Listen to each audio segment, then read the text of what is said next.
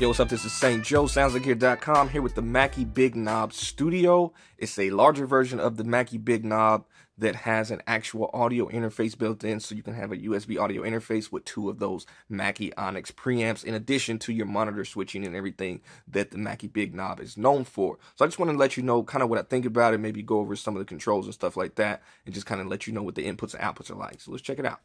All right, so if you're familiar with the Mackie Big Knob, obviously the Big Knob is in the middle and the most common thing that people are using this for is switching between your monitors.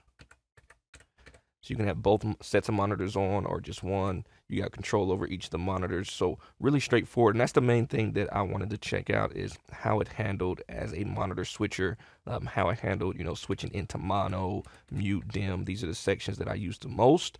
Uh, I did use three and four. That's actually just your input. So with this one, since it has an interface built in, you get a few more options than the smaller passive one. So you can choose between USB or inputs three and four as your input sources. You also have inputs, you know, your XLR combo jacks for if you want to hook up microphones or things like that and actually use it as an interface. I personally did not test it as an interface as that is not my use case.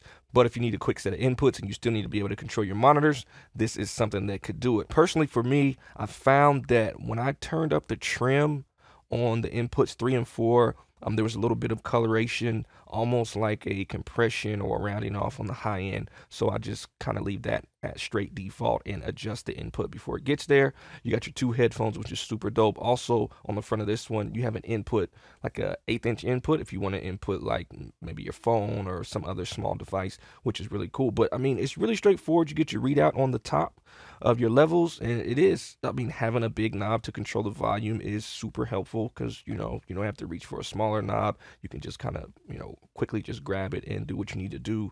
And like I said, I like having these buttons right here. So maybe if I get a phone call or I need to do something really quick, I can just dim it and just turn it down really quickly. Or if I need to mute it or check it out in mono, I think that's pretty dope. So it's really straightforward. It also has talkback built in. So it just depends on what you're trying to do. If you need the studio version, it does have a little bit more over the passive version, but one thing to keep in mind uh, that I would say is when you crank up the trim on inputs three and four, you may get a little bit of color. At least I noticed that I did. And I would imagine that with the passive one, since there's no, you know, active power or anything like that, no active gain and, and things that, you know, it's probably going to be a little bit more transparent if that's what you're looking for. But again, if you're using this as an interface, you got those Onyx preamps over there. So you got two inputs, XLR combo jacks. So you can use that if you need it. It goes strictly straight over USB has your talkback on there. Like I said, you can choose what you want your output to be, USB or 3 and 4 or both. And then just being able to quickly switch between your monitors and adjust the trim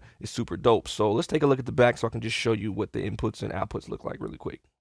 So like I said, it is a USB interface. So there's your USB. You can choose where you're recording from. So if you're recording from the two track or you're recording from inputs one and two, over here you got your combo jacks. So those Onyx preamps right there. There's your input for three and four and then also your two track there's your outputs so monitor a monitor b and another two track output. So really straightforward you know power down here. Really straightforward connections but again a little bit more going on in terms of inputs because it is an audio interface. You get a little bit more flexibility over the smaller passive version.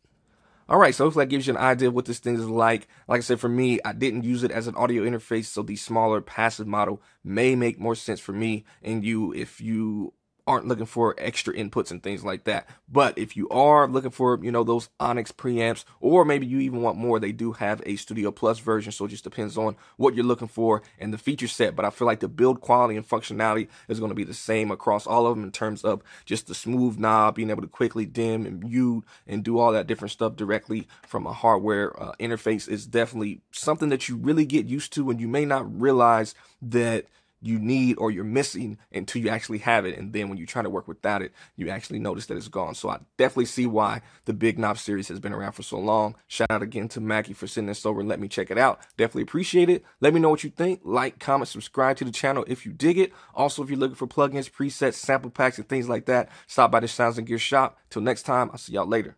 Peace.